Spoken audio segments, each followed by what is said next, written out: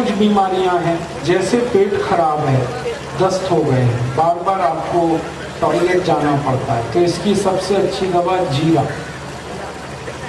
आधा चम्मच जीरा चबा के खा लो। पीछे से गुनगुना पानी पी तो दस्त एकदम बंद हो जाते हैं, एक ही खुराक। और जब बहुत ज़्यादा दस्त हो, हर दो मिनट में आपको टॉयलेट जाना पड़ता है। तो आधा कप कच्चा दूध ले लो, बिना गर्म किया हुआ। और उसमें नींबू डाल के जल्दी से पी लो। नींबू डालोगे ना, दूध फट जाएगा। फटने से पहले पीना।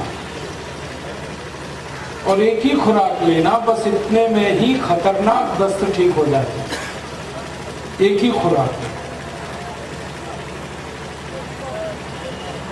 और एक दवा बताना चाहता हूँ, दस्त की। ये जो बेल पत्र पर फल लगता है ना, बेल का फल उसका जो गूदा होता है, वो आप चबा के खा लो, पीछे से थोड़ा पानी पी लो, ये भी दस्त ठीक कर देते है। बेल का पाउडर मिलता है बाज़ार में, वो आप एक चम्मच पाउडर गुनगुने पानी में पी लो, ये भी दस्त ठीक कर देता है।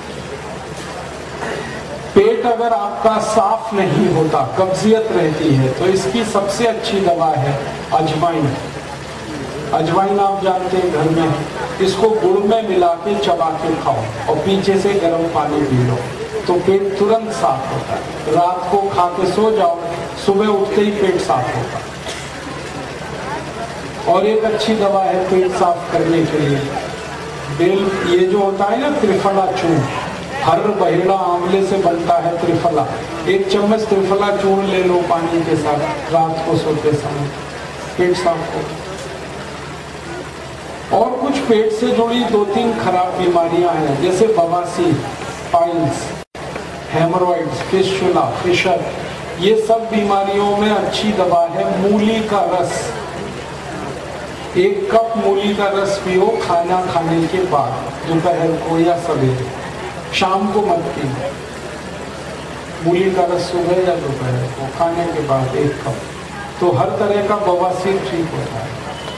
बगंदर ठीक होता है फिस्टुला फिशर ठीक होता है। अनार का रस पियो तो भी ठीक हो जाता है।